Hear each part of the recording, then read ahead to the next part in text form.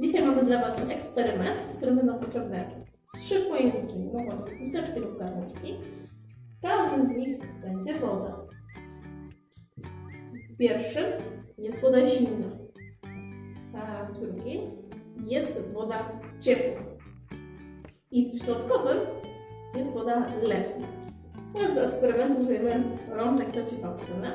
Ciocia Faustyna zamacza jednocześnie prawą i lewą rękę w ciepłej i zimnej wodzie. I tak przez chwilę trzymamy. Liczymy sobie do 10.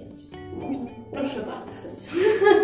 1, 2, 3, 4, 5, 6, 7, 8, 9, 10. I teraz ciocia Faustyna, proszę użyj jednocześnie ręce do wody środkowej. Co czujesz? Co czujesz? Faktycznie. Rączka, w którą trzymałam yy, w zimnej wodzie jest, jest mi w nią ciepło. A w rączkę, którą trzymałam w ciepłej wodzie jest mi w nią zimno. I to wszystko w jednej misce. Ale fajnie. Tak, w tym eksperymencie możecie się dowiedzieć, jak odczuwa Wasze ciało i jak łatwo spłyniecie troszkę. Fajnie.